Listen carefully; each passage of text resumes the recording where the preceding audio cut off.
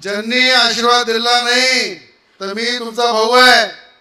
ते पंधराशे रुपये खात्यातून वापस घेऊन घेईन. मी गमतीनं बोलून त्याचा जो विरोधक भाऊ करताय मला असं वाटते त्यांच्या पायाखालची वाळू घसरलेली आहे.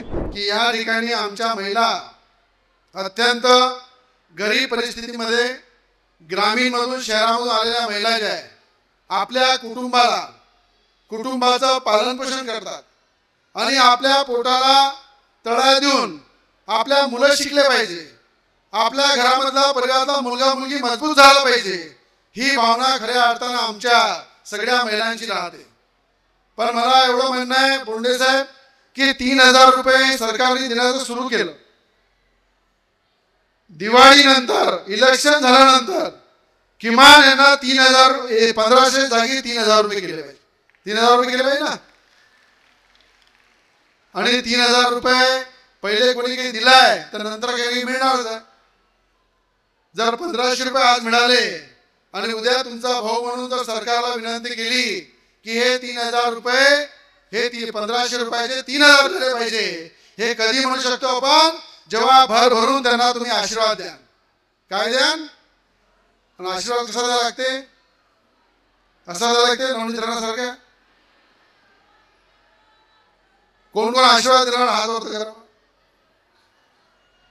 ज्यांनी आशीर्वाद दिला नाही तर मी तुमचा भाऊ आहे. ते पंधराशे रुपये खात्यातून वापस घेऊन घेईन बरोबर आहे काय? तिकडे आशीर्वाद देणार नाही काय? बाहेरचे लोक आशीर्वाद देणार नाही काय?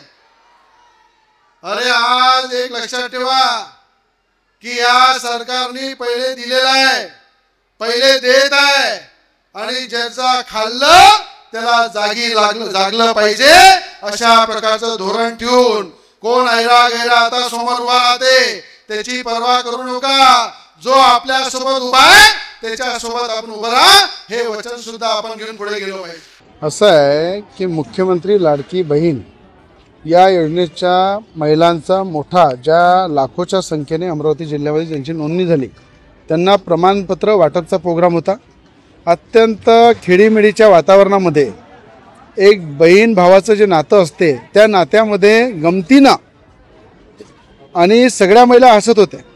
एक गमतीनं हे वक्तव्य केलं आणि बहीण भावाचे नातं जे असते हे गमतीचं असलं पाहिजे आपुलकीचं असलं पाहिजे प्रेमाचं असलं पाहिजे आणि त्या नात्यामध्ये मी गमतीनं बोलून त्याचा जो विरोधक भाऊ करताय मला असं वाटते त्यांच्या पायाखालची वाळू घसरलेली आहे.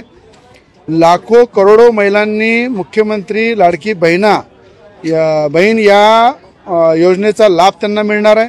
सतरा तारखेला प्रत्येक महिनी बहिणीच्या खात्यात तीन हजार रुपये मुख्यमंत्री उपमुख्यमंत्री सरकारच्या माध्यमातून टाकणार आहे.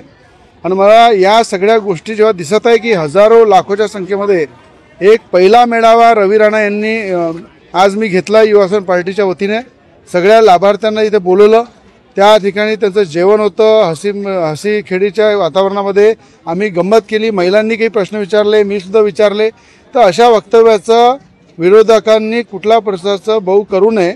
कारण की आज येणाऱ्या काळामध्ये मी हे पण बोललो की सरकार आल्यानंतर मुख्यमंत्री उपमुख्यमंत्र्यांनी सरकारनी पंधराशेचे तीन हजार काढावे हे सुद्धा मागणी केली.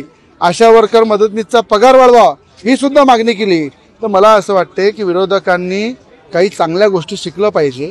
कुठली तरी एखादी गोष्टी बहीण भावाच्या नात्यामधली पकडून त्याच्यावरही विरोधक आपला राजकीय पोळी शेकत आहे हे योग्य नाही आहे. हा हसी मजाकचा एक भावाचा बहिणीचा एक नातं जे असते त्यावर मी बोललेलं आहे. अशा प्रकारचं गंभीर त्याच्यामध्ये कुठलं नाही आहे की कुठे पैसे वापस घेणार आहे. कधी भाऊ बहिणीला देत असते वापस घेत नसते. पण एवढं तरी विरोधकांना लक्षात आलं पाहिजे की भाऊ नेहमी बहिणीला देत आलेला आहे आणि देत राहणार आहे.